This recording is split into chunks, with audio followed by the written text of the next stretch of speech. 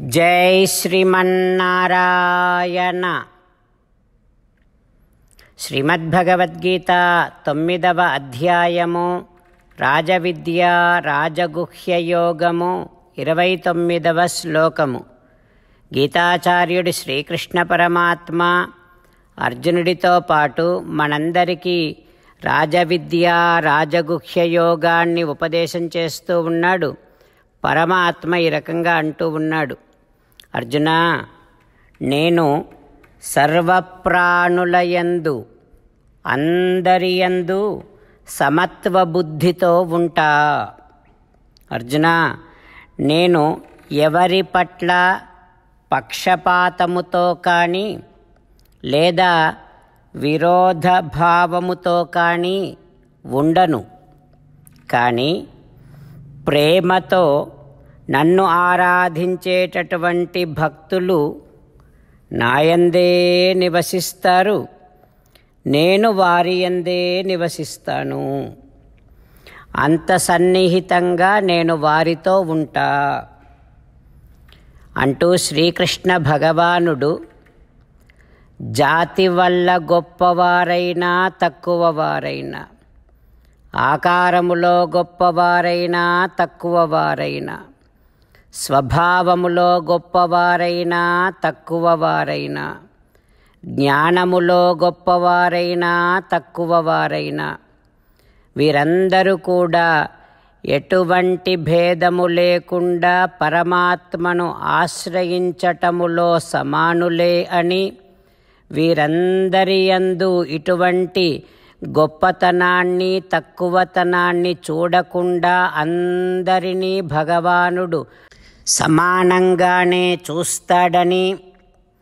కానీ ఎవరెవరైతే ఆ పరమాత్మను ఆరాధించకుండా భజించకుండా ఉండలేనటువంటి స్థితిలో ఉంటారో అట్లాంటి భక్తుల పట్ల పరమాత్మ ఒకవేళ పరమాత్మకు కూడా తనకంటే గొప్పవారెవరైనా ఉంటే వారి పట్ల పరమాత్మ ఏ రకంగా వర్తిస్తాడో ప్రవర్తిస్తాడో ఆ రకంగా భగవానుడు తనను ఆరాధించకుండా ఉండలేనటువంటి స్థితిలో ఉన్న భక్తులతో ప్రవర్తిస్తాడు అని స్పష్టపరుస్తూ ఉన్నాడు.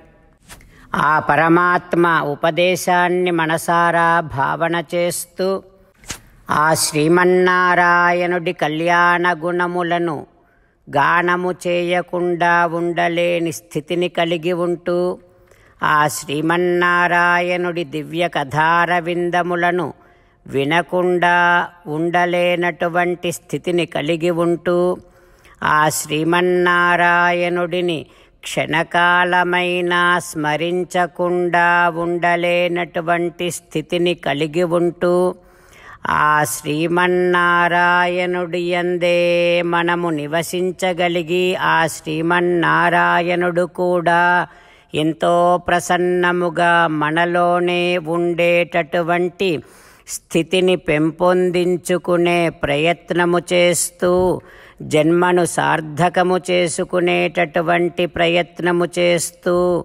పరమాత్మ పలికిన పలుకులను అదేవిధంగా పలికే ప్రయత్నం చేద్దాం.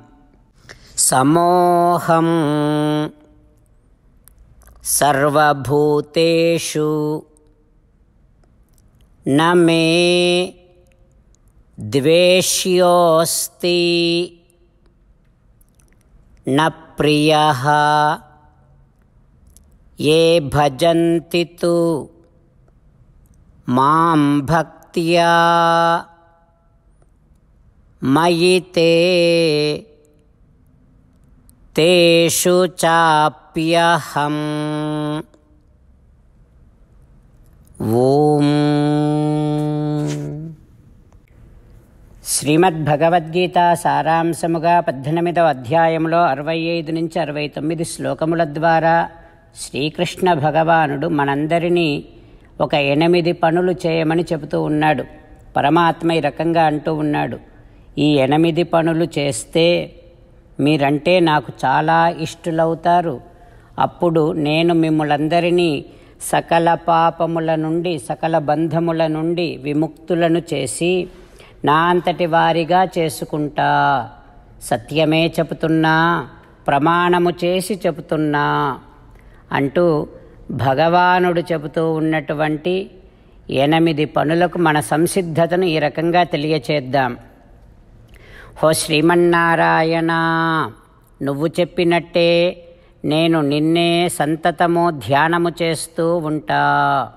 హో శ్రీమన్నారాయణ నువ్వు చెప్పినట్టే నేను నీ భక్తుడిగానే ఉంటా.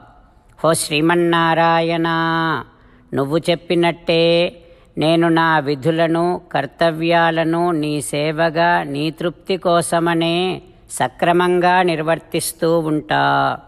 హో శ్రీమన్నారాయణ నువ్వు చెప్పినట్టే నేను నీవాడిని అని అనుకుంటూ నీకే నమస్కరిస్తూ ఉంటా. హో శ్రీమన్నారాయణ.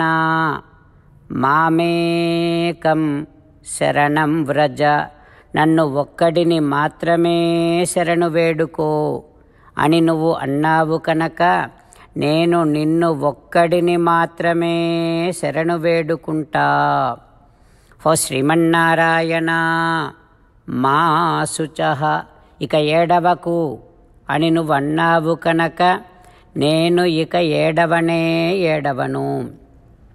హో శ్రీమన్నారాయణ నువ్వు చెప్పినట్టే నువ్వు నా కోసమని చెప్పిన శ్రీమద్భగవద్గీతను ప్రతిరోజు కనీసము ఒక్క శ్లోకాన్నైనా చదువుతూ జ్ఞాపకం చేసుకుంటూ ఉంటా.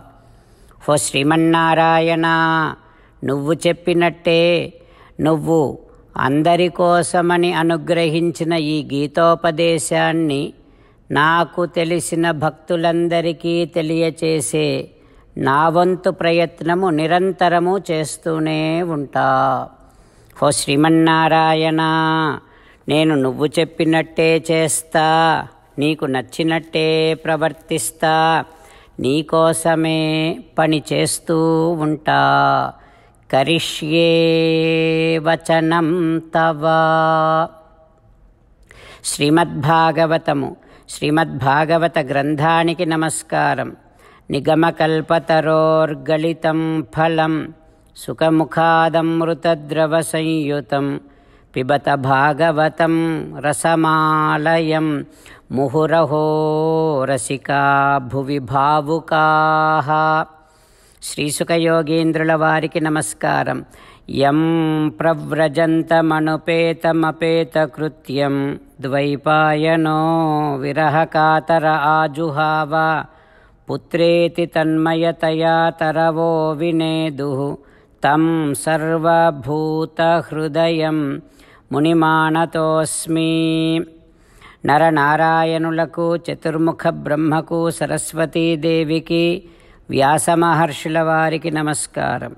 నారాయణం నమస్కృత్య నరం చైవ నరోత్తమం. దేవీం సరస్వతీం వ్యాసం. తతో జయం ఉదీరయేత్. శ్రీమద్భాగవతము తృతీయ స్కంధములో సూతమహాముని సౌనకాది మహర్షులందరికీ ప్రవచనం చేస్తూ చెబుతూ ఉన్నాడు. ఓ మహర్షులారా శ్రీసుక యోగీంద్రుల వారు పరీక్షిన్నరేంద్రుడికి ఉపదేశం చేస్తూ ఈ రకంగా చెబుతూ ఉన్నాడు. ఓ పరీక్షిన్నరేంద్ర మైత్రేయుడు విదురునికి శ్రీమద్భాగవతాన్ని ఉపదేశం చేస్తూ ఈ రకంగా చెబుతూ ఉన్నాడు. ఓ విదురా దితి కాశ్యపుడిని ప్రార్థన చేయగానే కాశ్యపుడు దితితో ఈ రకంగా అంటూ ఉన్నాడు. ఓ దితి లోకములో భార్య కోరికను తీర్చటమనేటటువంటిది భర్తకు ధర్మం. అందుకని ఏష తే అహం విధాస్యామి. తప్పకుండా నీ కోరిక తీరుస్తా. హోదితి భర్త ఏది సాధించాలన్నా భార్యయే సాధనం. భార్యను కలిగి ఉన్నటువంటి పురుషుడు గృహస్థాశ్రమము ద్వారా మిగిలిన మూడు ఆశ్రమములలో ఉన్నటువంటి వారిని ఆదరిస్తూ కాపాడుతూ ఈ దుఃఖ సాగరాన్ని దాటగలడు. ఓ భార్య యాం ఆహు ఆత్మనోహి అర్థం అర్ధం. భార్య భర్తకు అర్ధ శరీరమని కదా శాస్త్రాలన్నీ చెబుతూ ఉన్నాయి. ఓ అన్ని విషయాలలో భార్య కూడా భర్తతో సమానముగా బరువు బాధ్యతలను తీసుకొని సంసారములో ఏ ఒడిదొడుకులు లేకుండా చేస్తుంది కదా.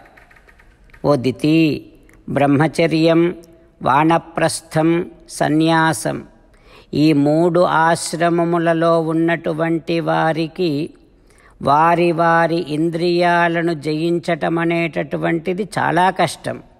వారు చాలా కష్టపడాలి ఇంద్రియ నిగ్రహాన్ని సాధించడానికి. ఓ దితి కోటలలో నివసించేటటువంటి వారు చుట్టూ భద్రతను పెట్టుకొని దొంగలు లోపలికి రాకుండా ఏ రకంగా నిరోధించుకోగలరో ఆ రకంగా భార్యతో ఉన్నటువంటి పురుషుడు ఇంద్రియములు అనేటటువంటి దొంగలను నిరోధించుకోగలడు. అది గృహస్థాశ్రమములలో ఉండేటటువంటి సౌకర్యము భార్య సహకారముతో సాధించగలిగేటటువంటి కార్యం. హొదితి మరి ఇంతగా నా ఇంద్రియ నిగ్రహానికి ఉపకారము చేస్తున్న నీకు నేను ఏమిచ్చి ప్రత్యుపకారము చేయగలను దితి? అంటూ కాశ్యపుడు భార్యతో దితితో మాట్లాడుతూ ఉన్నాడు.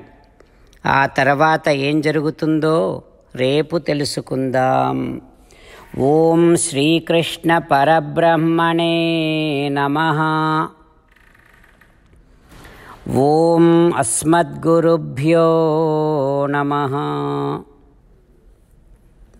ముకుందమాల కృష్ణో రక్షతునో జగత్రయ గురు. कृष्णं नमस्याम्यहं। कृष्णेनामरशत्रवो विनिहताः। कृष्णाय तस्मै नमः। कृष्णादेव समुत्थितं जगदिदं।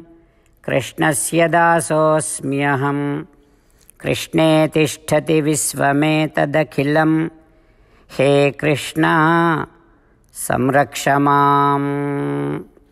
శ్రీమద్భగవద్గీత తొమ్మిదవ అధ్యాయము ఇరవై తొమ్మిదవ శ్లోకము సమోహం సర్వభూతేషు న మే ద్వేష్యోస్తి న ప్రియ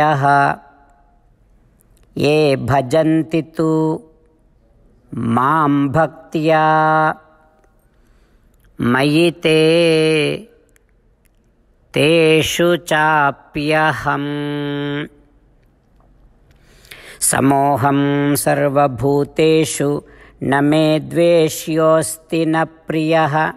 ये भजन्ति तु मां भक्त्या मयि ते तेषु चाप्यहम्। श्रीमन्नारायणा करिष्ये वचनं तव। सर्वं श्रीकृष्णार्पणमस्तु। जय श्रीमन्नारायण।